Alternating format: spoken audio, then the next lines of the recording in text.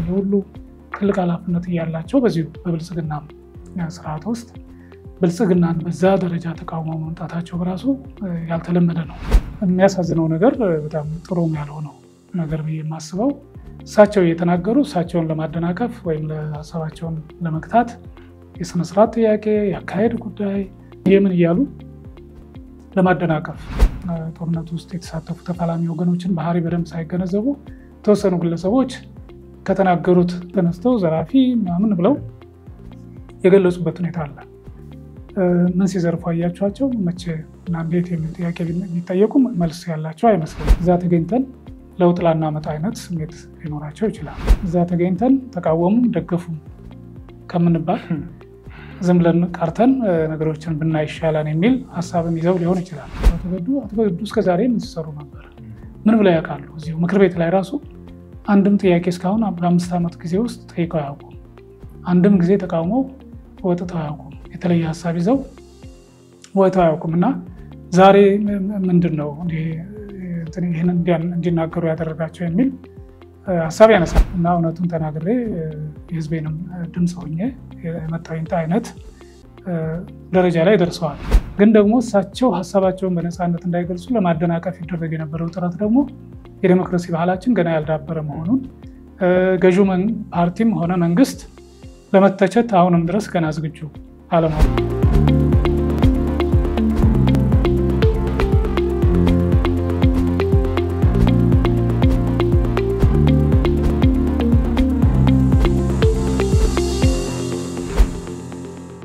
ሰላም ጤና ይስጥልን። የተከበራችሁን የተወደዳችሁ የየኛ ቴሌቪዥን ተከታታዮች እንደምን አላችሁ?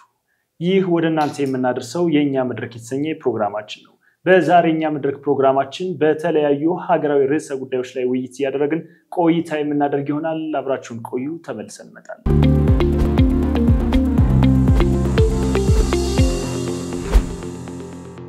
ተመልሰን መተናል። ቀደም ብዬ በገለጽኩላችሁ ርዕሰ ጉዳይ ላይ ለመወያየት እዚሁ ስቱዲዮ ዶክተር ሲሳይ ተገኝተዋል። አብራችሁን ቆዩ። እንኳን ደህና መጡ ዶክተር ሲሳይ። እንኳን ደህና ቆያችሁ።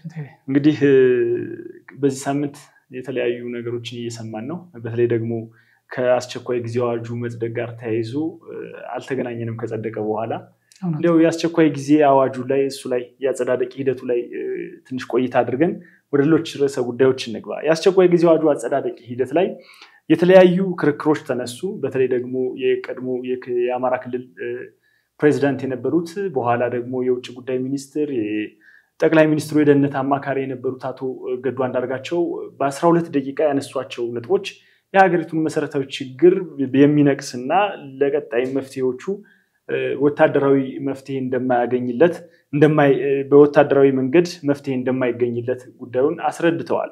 ከዚሁ ጋር ተያይዞ የአማራ ተወካዮችም በሂደቱ ላይ አለመሳተፋቸው አለመሳተፍ ስንል የተወሰኑ ሀምሳ የሚሆኑ የህዝብ ተወካዮች ከአማራ ክልል የመጡ የህዝብ ተወካዮች ተገኝተዋል። ነገር ግን ብዙሃኑ ወይም አብዛኛው almost መቶ ሰላሳ መሰለኝ ያለው መቶ ሰላሳ ስምንት ገደማ መቀመጫዎች አሉት። ከመቶ ሰላሳ ስምንቱ እንግዲህ ሀምሳዎቹ ነው የተገኙት። አጠቃላይ ሂደቱን እንዴት አገኙት? እሱ ላይ ልጀምር። እውነት ነው እንግዲህ እዚህ ሰሞን ዋነኛ መነጋገሪያ ሆኖ የሰነበተው የአስቸኳይ ጊዜ አዋጁ አጸዳደቅ ላይ የተለያዩ ነገሮች ተነስተዋል። በተለይ ደግሞ ከሁሉም በላይ የአቶ ገዱ ጠንከር ያለ ሀሳብ እና ትችት እና የተለየ አቋም መያዝ በእጅጉ አነጋጋሪ የሆነበት ትኩረት ስቦ የመነጋገሪያ አጀንዳ ለብዙዎቹ ሚዲያዎች መነጋገሪያ ሆኗል። ለምን እንደዛ መነጋገሪያ ሆነ የሚል ጥያቄ ሊያስነሳ ይችላል። አንደኛው አቶ ገዱ እንግዲህ ሄቪ ዌት የሚባሉ በለውጡ ሂደትም የቲም ለማ አባል የነበሩ ከፍተኛ ሚና የነበራቸው ሰው ናቸው። የአማራ ክልል ርዕሰ መስተዳደር በነበሩበት ጊዜ የለውጡ ዋዜማ ነው የነበረው። ከዛ ጋር ተያይዞ በደንብ ይታወቃሉ። ከምንም በላይ ደግሞ እዛ ክልል ፕሬዚዳንት እያሉ ኮሎኔል ደመቀ ዘውዱን ለማፈን የተነግ ፖሊስ አባላት ወይም ሰራዊት አባላት ሂደው ጎንደር ላይ በፈጸሙት ወንጀል እና ኮሎኔል ደመቀ ደግሞ አጽፋውን መልሶ በሕግ ቁጥጥር ስር ውሎ ነበር። በቁጥጥር ስር እንዲውል ራሱ የእሳቸው ሚና ጉልህ ነበረ። ከዛ በኋላ ወደ ፌዴራል ማዕከላዊ ለማምጣት ሀሳብ ነበራቸው ተነጎች። ያን አይሆንም ብለው በዛው በክልሉ ፍርድ ቤት እና በክልሉ ማረሚያ ቤት ሆኖ ይዳኛን የሚል ቁርጥ ያለ አቋም በመያዝ ከተነጎች እየተለዩ የመጡበት ሁኔታ መኖሩን ያመለክታል። ይሄ ይሄ ትልቅ ስም አስገኝቶላቸዋል። ከዚያ በኋላ ደግሞ ያው ወደ ፌዴራል መንግስት መጥተው የውጭ ጉዳይ ሚኒስትር ሆነው ሰርተዋል። እንዳልከው የጠቅላይ ሚኒስትሩ የብሔራዊ ደህንነት አማካሪም ሆነው አገልግለዋል። ስለዚህ በእነዚህ ሂደቶቻቸው ስታይ እንዲሁ በቀላሉ የምታያቸው አይነት ሰው አይደሉም። ከዛም አልፎ የቀድሞ ብአዴን ምክትል ሊቀመንበር ነበሩ። በኋላም የአዴፓ ስራ አስፈጻሚ ሆነው ቀጥለው ነበረ። የብልጽግና አመራር ተደርገው ያው በተወሰነ ጊዜ ከመጡ በኋላ ጉባኤ ላይ ይመስለኛል ሳይመረጡ የቀሩት እንጂ በቀደመው ከኢህአደግ ወደ ብልጽግና በነበረው ሽግግር ከፍተኛ አመራር ሆነው የሰሩበት ያገለገሉበት ሁኔታ ነበረ። እንግዲህ ይሄ ሁሉ ትስስር ይሄ ሁሉ ትልቅ ኃላፊነት እያላቸው በዚሁ በብልጽግና ስርዓት ውስጥ ብልጽግናን በዛ ደረጃ ተቃውሞ መምጣታቸው በራሱ ያልተለመደ ነው። እንደምታስታውሰው ቀደም ሲል ይካሄዱ በነበሩ የአስቸኳይ ጊዜ አዋጅ አጸዳደቅ ሂደቶች የዚህ አይነት ትልቅ ኃላፊነት ትልቅ ስልጣን ያለው ሰው ተቃውሞ የወጣበት ጊዜ አልነበረም። ለምሳሌ ይመስለኛል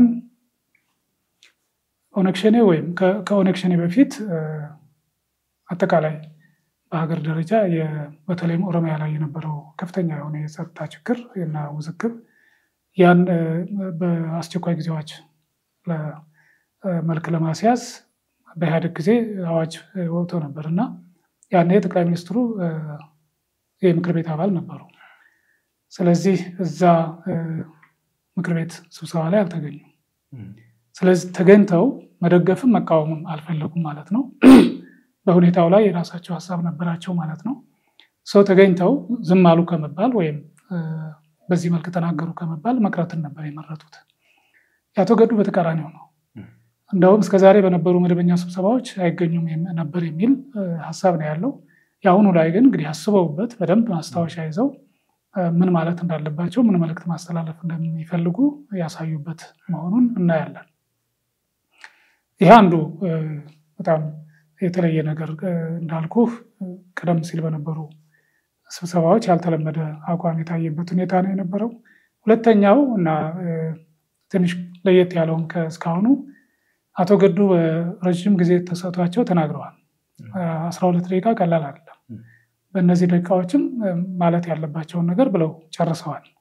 ግን የሚያሳዝነው ነገር በጣም ጥሩም ያልሆነው ነገር ብዬ የማስበው እሳቸው እየተናገሩ እሳቸውን ለማደናቀፍ ወይም ሀሳባቸውን ለመግታት የስነስርዓት ጥያቄ፣ የአካሄድ ጉዳይ የምን እያሉ ለማደናቀፍ እና ለማናጠብ ጥረት የተደረገበት ሁኔታ ምክትል አፈ ጉባኤውን ጭምር ከአስቸኳይ ጊዜ አዋጁ ጋር የተያያዘ ሀሳብ ያቅርቡ፣ ሌላውን የተውት የሚል የማቆራረጥ ነገር ነበረ። ለነገሩ እያንዳንዱ ያቀረቡት ሀሳብ ከአስቸኳይ ጊዜ አዋጁ ጋር የሚሄድ ነው። ሌላ የተለየ ነገር የለውም። አስቸኳይ ጊዜ አዋጁ የግድ መስረቅ አለበት ወይም የለበትም አይነት ብቻ እንዲነገር መጠበቅ የዋህነት ነው። አስቸኳይ ጊዜ አዋጁ ይጽደቅ የሚሉት ሰዎች የሚያነሷቸው ሀሳቦች አሏል። እነሱ ላይ ምንም አልተባለም። የፈለጉት እንደውም አንዳንዶቹ ለማያውቁትን ቦታውን አካባቢውን በደንብ ሳያውቁ አሁን በጦርነቱ ውስጥ የተሳተፉ ተፋላሚ ወገኖችን ባህሪ በደንብ ሳይገነዘቡ የተወሰኑ ግለሰቦች ከተናገሩት ተነስተው ዘራፊ ምናምን ብለው የገለጹበት ሁኔታ አለ። ምን ሲዘርፉ አያችኋቸው? መቼ እና እንዴት የሚል ጥያቄ ቢጠየቁ መልስ ያላቸው አይመስለኝም። ግን ዞሮ ዞሮ ሀሳባቸውን ገልጸዋል። ማንም ያቆራረጣቸው ያደናቀፋቸው የለም። ብዙ ሰው ነው ደግሞ የተናገረው በመደገፍ ማለት ነው ሀሳቡን። በመቃወም ሀሳብ ሲመጣ ትዕግስት አድርገህ ማዳመጥ አለብህ። ሁሉንም ነገር ከድጋፍ ብቻ መመልከት መጠበቅ የለብንም። ይህን ታሳቢ ያደረገ ነገር ብናይ ትንሽ ጥሩ ያልሆነ እያንዳንዱ እስኪ ሀሳባቸውን በየደቂቃው ገና እኮ ተናግረው እንኳ አንድ ቃል ሳይጨርሱ የስነ ስርዓት ጥያቄ ያለን የአካሄድ ጉዳይ እያሉ ለማደናቀፍ ጥረት የተደረገበት ሁኔታ ነበር። ይህም ሆኖ በሚገርም ሁኔታ ምንም ሳይደነቃቀፉ ምንም ሳይረበሹ የፈለጉትን መልእክት እንዳስተላለፉ ይሰማኛል። እና እንግዲህ ለየት የሚያደርገው ነገር አንዱ እሱ ነው ማለት ሁለተኛው ነጥብ ተደርጎ ሊወሰድ የሚችለው እሱ ነው። ሶስተኛው አንተም እንዳነሳው የአማራ ክልል ተወካዮች መቶ ሰላሳ ስምንት መቀመጫ አላቸው። እንግዲህ መቶ ሰላሳ ስምንቱም ይመጣሉ ብሎ መጠበቅ ዋህነት ነው። ምክንያቱም አንዳንዶቹ በተለያየ የስራ ኃላፊነት በተለያየ ስምሪት ውስጥ ሊሆኑ ይችላሉ። አብዛኛዎቹ ግን መገኘት ነበረባቸው። ስለዚህ በተለያየ መረጃ ሲቀርብ የሰማነው ከስልሳ ያልበለጡ አባላት ናቸው የተገኙት ነው የሚባለው። ያ ማለት እንግዲህ ከመቶ ሰላሳ ስምንት ስልሳ ተገኘ ከተባለ በጣም ብዙ ሰው ቀርቷል ማለት ነው። ከሀምሳ ፐርሰንት በታች ማለት ነው። ከሀምሳ ፐርሰንት በታች ነው። ሀምሳ ፐርሰንት ሊሆን የሚችለው መቶ ሰላሳ ስምንት ለሁለት ስታካፍለው ስንት ነው የሚሆነው? ወደ ስልሳ አምስት በላይ ስልሳ ዘጠኝ አካባቢ ነው የሚሆነው። ስለዚህ ስልሳ ዘጠኝ መሆን ከነበረበት እንደው ግማሹ እንኳ ብለህ ስትወስድ ዘጠኙን ወደዛ ትደምርና ሰባ ስምንት አካባቢ ተወካዮች አልተገኙም። ይሄ በጣም ብዙ ነው፣ ቀላል አይደለም። ለምን አልተገኙም የሚለው ጥያቄ መታየት መፈተሽ ያለበት የተለያዩ ምክንያት ሊኖራቸው ይችላል። አንደኛው እዛ ተገኝተን ለውጥ ላናመጣ አይነት ስሜት ሊኖራቸው ይችላል። ሁለተኛው እዛ ተገኝተን ተቃወሙም ደገፉም ከምንባል ዝም ብለን ቀርተን ነገሮችን ብናይ ይሻላል የሚል ሀሳብም ይዘው ሊሆን ይችላል። ይሄ እንግዲህ ሁለቱም አቋም ተሸናፊነት ነው ለእኔ እኔ መሆን አለበት ብዬ የማምነው የወከሉት ህዝብ የወከሉት አካባቢ በእንደዚህ አይነት አስቸጋሪ ሁኔታ ውስጥ ሲሆን ተገኝተው አንዱን መወገን ይጠበቅባቸው ነበር ወይ መቃወም፣ ሀሳባቸውን በደንብ መግለጽና ድምፃቸውንም መስጠት አሊያም መደገፍ ነው። የተሻለውን አማራጭ እዛ ላይ ተገኝተው የሚደግፉበት ሁኔታም ካለ የሚደግፉበትን ሀሳብ በደንብ ማራመድ ነበረባቸው ብዬ አምናለሁ። ስለዚህ ላለመቃወምም ላለመደገፍም ወይም ደገፉም ተቃወሙም ላለመባል ወደኋላ የሚሉ ከሆነ ነገ ከነገ እዛ ምክር ቤት ግን ሊገኙ ነው አይደል? ህዝባቸውን የህዝባቸውን ኃላፊነትና አደራ ወደ ጎን ብለዋል ማለት ነው። በምንም መልኩ ይሄ ከሞራልም አንጻር ትክክል አይደለም። ምናልባትም ከምክር ቤቱ ደንብና ስርዓትም አንጻር እነሱ ብቻ ላይሆኑ ይችላሉ የቀሩት፣ ሌላውም ከሌላ ክልልም የመጣው የቀረ ሊኖር ይችላል። ሰው በስርዓቱ መታየቅ ያለባቸው ይመስለኛል። በዛ ደረጃ መታየት ነው የሚኖርበት እና ከተገኙት እንግዲህ ምናልባት ሁሉም የተቃወሙትና ሁሉም ድምፀ ተአቅቦ የሆኑት ከአማራ ክልል የመጡት ናቸው ማለት ይከብዳል። ከሌላ ክልልም የመጣ ሰው ተቃውሞ ሊሆን ይችላል።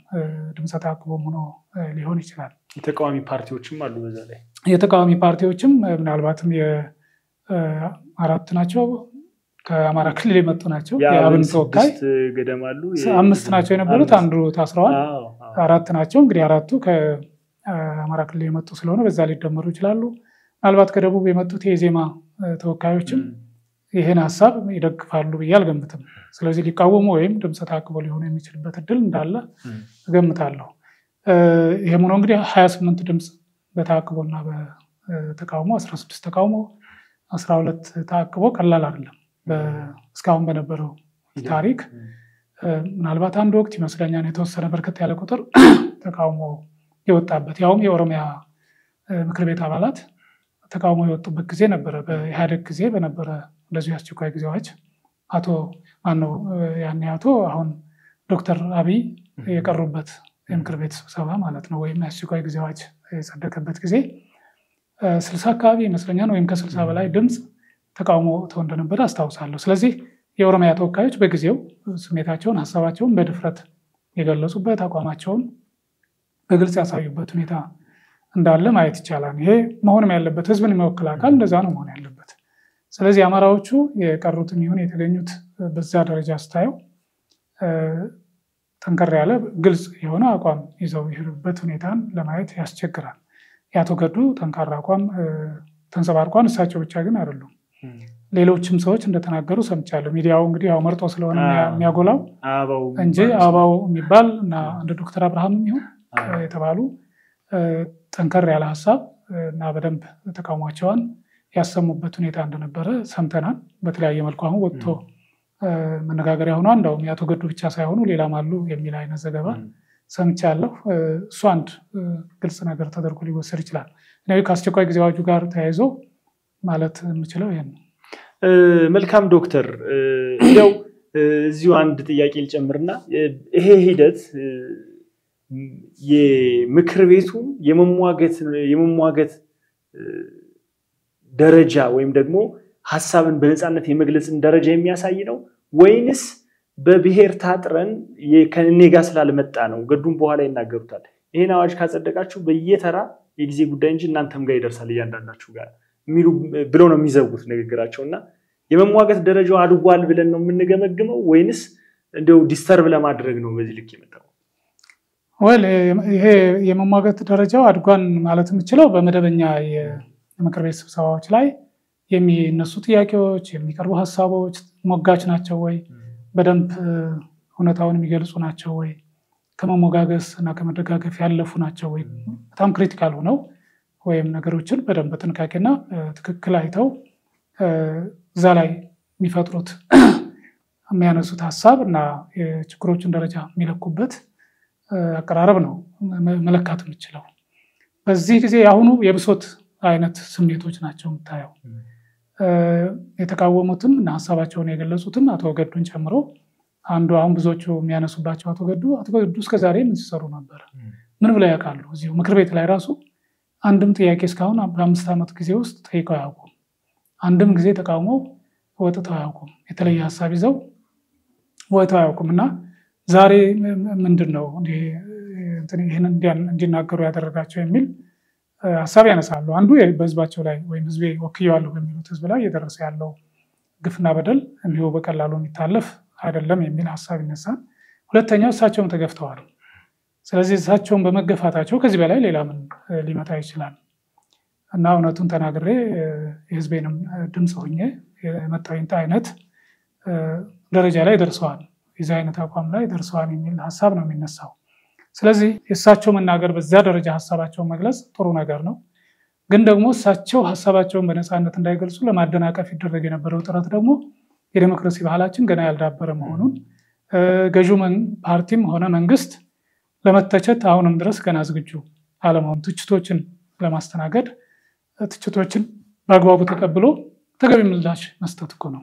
ሌላ ነገር አልነበረም። አቶ ገዱ እንዲህ አይነት ሀሳብ ካቀረቡ ሌላም ሰው የዚህ አይነት ሀሳብ ካለው እድሉ አላቸው። የለም እሳቸው ባሉት መልኩ ሳይሆን በትክክለኛ እውነተኛው ነገር ይሄ ነው የሆነ ያለውም ይሄ ነው እንጂ በዛ ደረጃ የሚገለጽ አለም ብሎ እኮ በማስረጃ አስደግፎ እሳቸው የተናገሩትን ያክል ከዛም በላይ ጊዜ ወስዶ ሀሳብ መስጠት ይቻል ነበር። አፈ ጉባኤዋም መድረኩን እየመሩ ያሉት እሳቸው ናቸው። ስለዚህ ከጨረሱ በኋላ የለም እውነታው ይሄ ነው፣ ህዝብም የምክር ቤቱ አባላትም መገንዘብ ያለባቸው ብለው እኮ ሀሳባቸውን በደንብ ማቅረብ ይችሉ ነበረ። ሌሎችም የምክር ቤት አባላት የስነ ስርዓት የአካሄድ ጥያቄ እያሉ ዲስተርብ ከማድረግ ወይም ተናጋሪዎችን ከማሸማቀቅ ወይም እንዳይናገሩ ለመከልከል ከመሞከር የሚሻለው የነበረው ሲጨርሱ ጊዜ ወስደው ሀሳብ እኛም ሀሳብ አለን ሀሳባችንን እንግለጽ ብለው መሟገት ነበረባቸው። እንደዛ ቢሆን ኖሮ የዴሞክራሲ ባህል የመሟገት ሀሳብ በነፃነት በምክር ቤት ውስጥ የመንሸራሸሩ ነገር ተስፋ ሰጭ ነገር ነው ብለህ ልታየው ትችላለህ። ምክንያቱም አስቸኳይ ጊዜ አዋጅ ስታጸድቅ ያው ስጋት ውስጥ ሆነ ነው አስቸኳይ ጊዜ ስለሆነ ማለት ነው። በዛ ያን ያክል ደፍሮ ያን ያክል ሀሳብን በደንብ ለመግለጽ መሞከር እሱ አንድ ድፍረትን ይጠይቃል።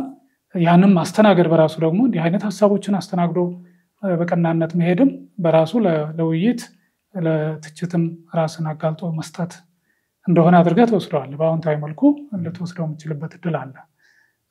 ነገር ግን የአሁኑ ላይ በተሟላ መልኩ በአዎንታዊ መልኩ ሊታይ የሚችል ነው ወይ የሚል ጥያቄ ያስነሳና የብሶት ንግግሮች ነበሩ ወይም በስሜት ተጫናቸው ችግሮቹ ገፍተዋቸው ወደዚህ ደረጃ ያመጡ ሌሎቹ ደግሞ ለማደናቀፍ የሞከሩበት ግን ተናጋሪዎቹ ሀሳባቸውን በዛው ደፍረው ቀጥለው የጨረሱበት ሁኔታ ነው የምናየው እና እንግዲህ እንደ አንድ የተወሰነ አስተዋጽኦ ያደርጋን ብዬ አምናለሁ። ምክንያቱም ይህ መነጋገሪያ ሆነን እንኳን ሚዲያዎችም ይህን ጉዳይ ደጋግመው ዘገቡት እና ለንግግር ለውይይት በር ከፋች ነው ብዬ አስባለሁ።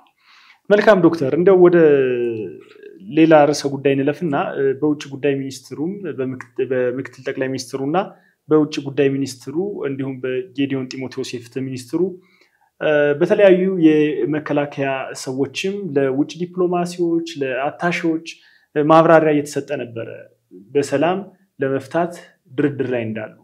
ነገር ግን በተጨባጭ መሬት ላይ ያለው ነገር ደግሞ ጦርነቱ እየገፋ የመጣበት በተለይ ጎጃም አካባቢ የተለያዩ ቦታዎች አሁንም የፋኖ ኃይሎች እያስተዳደሩ ያሉበትን ሁኔታ እናያለን። መንግስት bargaining chips ይዞ ለመቅረብ ነው? በዛኛውም በኩል ያለው bargaining chips ኡን ለመያዝ ነው ወይንስ ሰላም የሚፈለግ ከሆነ ለምን ጦርነቱን ማቆም አልተቻለም?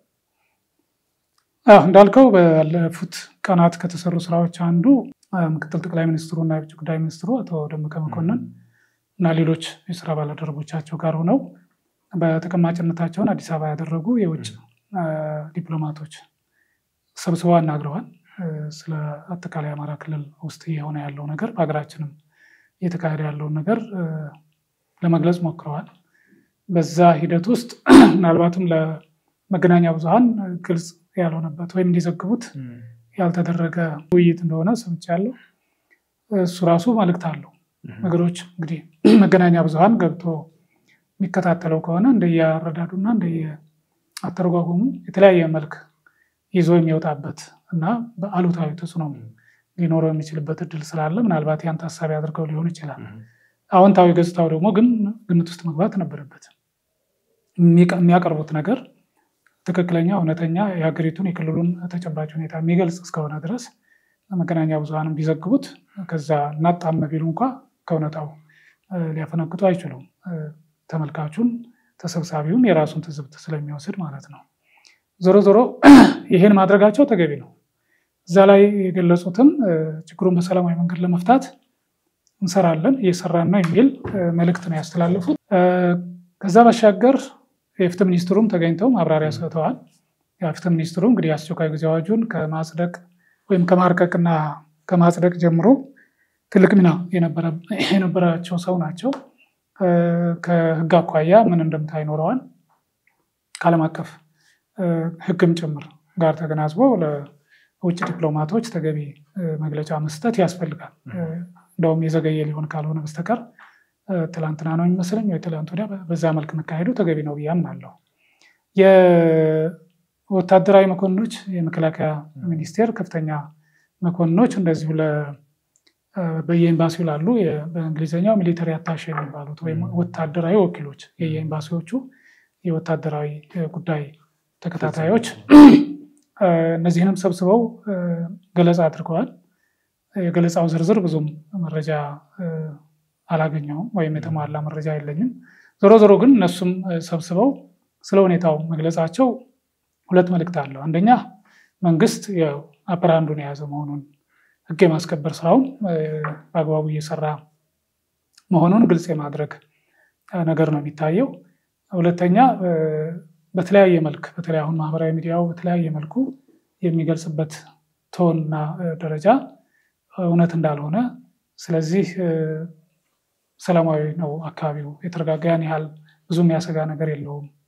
ስለዚህ እናንተም ዜጎቻችሁም ብዙ እንዳትጨናነቁ የሚል አይነት መልእክት ለማስተላለፍ የተሰራ ስራ ይመስለኛል።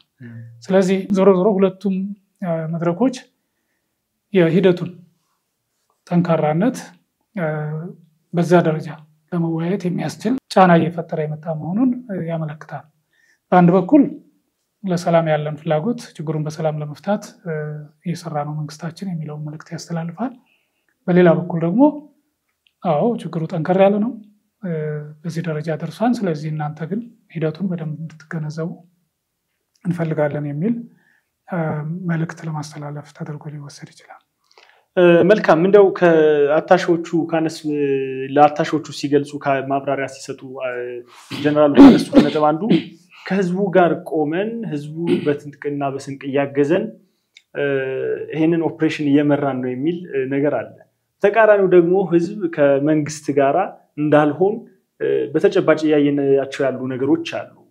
በተለያዩ የአማራ ክልል አካባቢዎች ህዝባዊ ስብሰባዎቹን እንኳን ብናይ ጎንደር ላይ የተካሄደውን ባህር ዳር ላይ የተካሄዱትን ህዝባዊ ስብሰባዎች ስናይ ህዝብ ከማን ወገን እንደሆነ ለማየትና ለመገምገም እየቻልን ነው።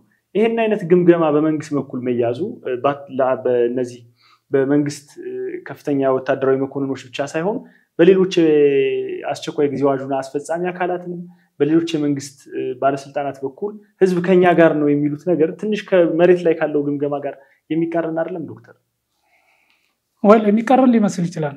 ግን ህዝብ የምንለው የትኛውን ህዝብ ማለት ነው ጥያቄው። መልስ ሊያገኝ የሚችለው የትኛው ህዝብ የሚል ነገር መነሳት አለበት። ስለዚህ ለምሳሌ ፋኖዎች ህዝባቸው የአማራ ህዝብ ከኛ ጋር ነው፣ ስንቅም እየሰጠን ነው፣ እንደ አስፈላጊነቱ ከጎናችን ሆነው እየተፋለመ ነው፣ ተቃውሞውን በተለያየ መልኩ እየገለጸ ነው፣ መንገድ በመዝጋት የተለያዩ እርምጃዎችን በመውሰድ እያሳየ ነው ይላሉ።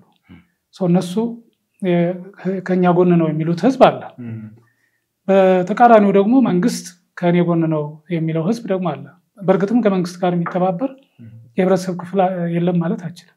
ሁሉም መቶ በመቶ ከፋኖዎች ጋር ተሰልፏል ማለት አይችልም። መቶ በመቶ ከመንግስት ጋር የተሰለፈ ህዝብ አለ ብለህ መውሰድ አይችልም። ስለዚህ እንግዲህ ህዝብ የሚለው አተረጓጎም እና ሁኔታ ነው እንጂ ለምሳሌ ብልጽግና ፓርቲ አባላትን ብቻ እኮ ብትወስድ ህዝብ ይሆናሉ አይደል? አማራ ክልል ውስጥ ቢያንስ ከሁለት ሚሊዮን ያላነሰ የብልጽግና አባል አለ። የእሱ ቤተሰብ እና ማህበረሰብ በዛ ዙሪያ ደጋፊ ይኖራል። እሱ እንደምረስታዊ ህዝብ ሊሆን ይችላል። ከዛም አልፎ ሌላውም ህዝብ ላይ ከመንግስት ጎን የሚሰለፍ ሊኖር ይችላል። የተለያዩ ምክንያት ሊኖረው ይችላል። አንደኛው ምክንያት ሊሆን የሚችለው መንግስት መንግስት ነው ነው። ስለዚህ ከመንግስት ጎን መሰለፍ ያው ህጋዊ እንድትሆን ያደርግሃል። አብዛኛው የመንግስት ሰራተኛ ነው። የመንግስት ሰራተኛ ደግሞ በመንግስት ስራ እና በመንግስት ደሞዝ ነው የሚተዳደረው። አንድ ወር ቢዘጋበት ምን እንደሚበላ ታውቃለህ። ኑሮ ውድነቱ ምኑ የራሱ የሚፈጥረው ጫና አለ። ስለዚህ የመንግስት ሰራተኛ በመሆኑ ብቻ መንግስትንም የሚደግፍበት አጋጣሚና እድል አለ። ሌላውም ሰላም እና መረጋጋት ፈልጎ መንግስት ይሄን ሰላምና መረጋጋት መንግስት ሊያመጣልን ይችላል ብሎ የሚያምን አለ። ስለዚህ እሱም እንደዚሁ ከመንግስት ጎን ቢሆን አይገርምም። ስብሰባዎች ላይ ተቃውሞም ድጋፍም ሊኖር ይችላል። እሱ ሊያስገርም የሚችል ነገር አለ። ስለዚህ ፋኖዎችን በእርግጥም አሁን ባለው ሁኔታ በተለያየ መልኩ ሲነሳ ብዙ ሰው ጥያቄ የሚያነሳው አንድ አይነት እንትን አላቸው ወይ? አመራር አላቸው ወይ? የተበታተነ ወይ በየዞኑ ወይ በየወረዳ ብቻ ያለ ፋኖ ስምሪት እንዴት ነው? እንደ ወታደራዊ በላይነት እንኳ ቢቀናቸው አስተዳደራዊ ሁኔታውን በስርዓቱ በአግባቡ ሊቆጣጠሩት ይችላሉ ወይ ሊይዙት ይችላሉ ወይ የሚል ስጋትና ጥርጣሬም ያለው ወገን አለ። እንዲህ አይነቱ ወገን ከነሱ እነሱን ከመደገፍ ይልቅ ወደ መንግስት ሊደግፍ የሚችልበት እድሉ አለ። የመረረው ብዙ ችግር የደረሰበት እና ከዚህ በላይ ዝም መመልከት አልችልም የሚል ደግሞ ከፋኖ ወገን ተሰልፎ ሊዋጋም አስፈላጊውን አስተዋጽኦ ሊያደርግ ይችላል። ስለዚህ ሁለቱም ወገኖች ህዝብ የሚሉት አንድ አይነት ህዝብ ሳይሆን የተለያየ አይነት የህብረተሰብ ክፍል ከነሱ ጎን የሚሰለፈውን እንደሆነ ግምት ውስጥ ማስገባት ጥሩ ይመስለኛል። አድማጭ ተመልካቾቻችን ለዛሬ የነበረን ቆይታ በዚሁ ተገባደደ። በሌላ ጊዜ በሌላ ርዕሰ ጉዳይና አጀንዳ እስከምንገናኝ ሰናይ ጊዜ